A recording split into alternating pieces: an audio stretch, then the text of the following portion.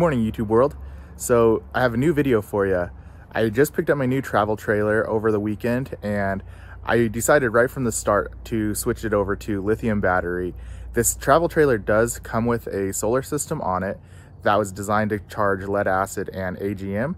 It just was not designed to charge uh, lithium. So today's video is everything you need to do to remove the stock controller, charge controller, out of this camper and install one that's designed to recharge lithium battery. So this is a 2850 KRL manufactured by East to West. Um, it's the Alta and it comes stock with solar on it. This solar system is a 50 watt solar system. Some of the brand new models are coming out with 100 plus watt solar systems, but mine currently has a 50 watt system on it. So I'm going to show you what needs to be done to uh, be able to run lithium batteries. The charge controller that comes with these trailers isn't set up for a lithium battery setup, um, but the converter on the inside of the trailer is. So we need to change the charge controller out um, as well as flip a switch on the inside panel. So without further ado, let's get started on this project. So this is your stock charge controller. It's a PWM unit that is not designed to charge lithium batteries. As well, it is old technology and not as efficient as an MPPT controller, which have profiles specifically for charging lithium batteries. In this controller, there's four wires that are epoxied into it. We're going to need to reconfigure these wires to make the new controller operate correctly, as the positive wires are all ran together on it. So these are your positive wires they are all tied together for the battery and the solar controller. And then these are your negative wires for the battery and solar controller as well. There's a black and a white wire set that is for your converter, and we're not going to be using those or messing with them at this point. So we're going to need to disconnect the solar wire, that's the positive red wire, and run it back through the small hole next to the vent duct and then over to where the solar controller is going to be so it can give us our four wires that we need. So we'll get that done next.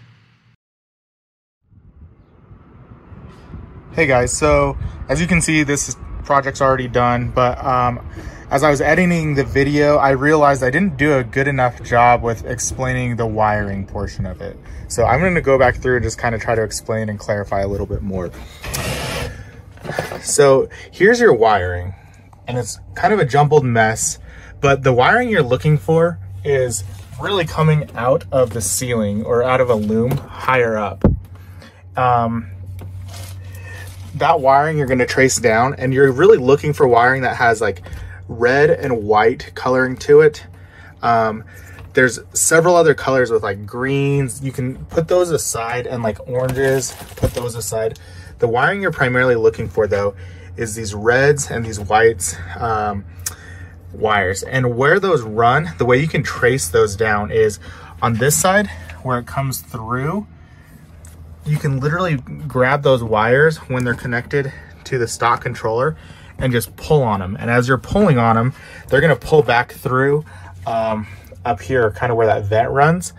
They're just gonna pull back through and that way you can tell what wire is what. And as you're doing that, as you see, I labeled all my wires when you're pulling each individual wire, it's gonna, as it pulls through this side, label it. Cause you'll be able to, you'll be able to tell on your charge controller what wire it's connected to. If it's connected to, you know, this red wire, you'll know that obviously that is your battery wire. Or if it's connected to this, you know, this black wire, that's a solar wire. And you can label those. Once you've labeled them, then you'll know uh, which wire goes to what. On this positive side in the harness, there was actually three wires running into this. There was a battery wire, and then there was a solar positive wire that was running into this same thing, and then this black wire, which is the incoming wire. Incoming wire. So when I figured that out, I disconnected just the solar wire because I knew that that's the one wire that was on this side that wasn't on this side. There was only three wires coming in originally. And I'll start showing pictures as well uh, of when I was in the process of doing this, just so you can kind of see what I was doing. but there's only three wires coming in originally. And so I had to find that red solar wire, the positive solar wire, to run it back through. And that's why you saw this pink string, because I was fishing wiring that one wire back through and out here. So I had all four wires. I originally had the battery positive and negative and then the negative solar wire, just not the positive solar wire through here. So I, again, ideally you're looking for this wiring loom with red wire. It'll have two red wires and then this black and white wire. There will all be three connected to this one uh, crimp connector. You need to undo the crimp connector and then pull the one red solar wire out. And the way you're gonna tell it's a solar wire is if you trace these, at some point, the loom is connected. So that's how I know the battery wires are the same. So you have this one, you know, set of wiring, two wires that are connected together and they're not split yet. Those are the batteries. And then the solar wires are the same. So these technically are my solar wires. It came through and the, the wiring is not split yet. Uh, it's split down here which ran the white wire or the negative into here originally. And then the red wire was split from up there and came down and met up with, again, this wiring harness where there's the three wires. So I just wanted to clarify that. If you have any additional questions though, because it can get a little confusing, please again, leave me a comment in the comment section. All right, back to the video. Okay, so now that we've ran this positive solar wire back through from here, up there, and out back out here.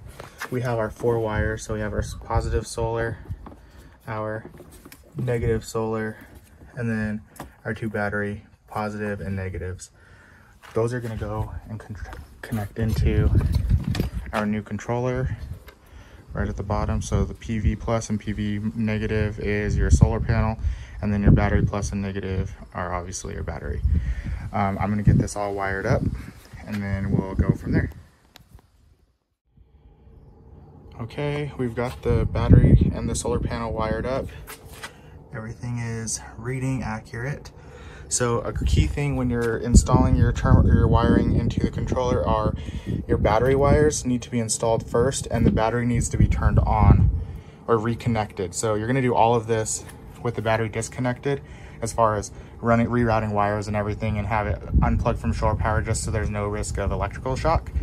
But once you get the controller, uh, the wires ran and the controller and um, the wires installed, you're gonna reconnect, in my case, to the lithium batteries. Um, this is gonna fire up and then you can install the solar panel wires. If you install these wires first and then the batteries, uh, battery wires, you can risk frying your controller. So uh, just a really important thing to not forget to do. Next, I'm gonna get this all mounted up. In this specific instance, uh, this controller needs to stay pretty low um, to allow for ventilation. This does have some big rear cooling fins to it. So you just need airflow from top to bottom with it. So we'll get that wired up next. All right, so this is what it looks like with the controller all wired up and installed. I added two additional wires with this specific Renogy controller. It allows for a Bluetooth module to be added to it so you can run it from an app on your phone. As well, it has that green plug right there is a temperature probe that runs down and into my battery box, which tells the controller what the temperature of the batteries are. With lithium, they charge at a specific temperature or at different temperatures than what normal lead acid batteries would charge at. And so you definitely want to make sure that you utilize that temperature probe if your controller comes with one. Um, after this, all we need to do is run inside into the uh, cabin and change over the switch for the converter. So let's go get that done. Okay, so now that we're inside, this is your converter as well as it houses your 12 volt system. So down here is a sticker. It shows LI and LA and has a little finger with a switching motion. That's just telling us that when you are changing over to lithium batteries, we need to switch the switch inside from that lead acid profile to the lithium profile. And what is what that's doing is is changing the voltage output of the converter to your battery. So it charges the lithium batteries at a different rate. So to do that, open the panel. And then right inside, there is this little guy right here. You can see LI and LA and a little switch down below.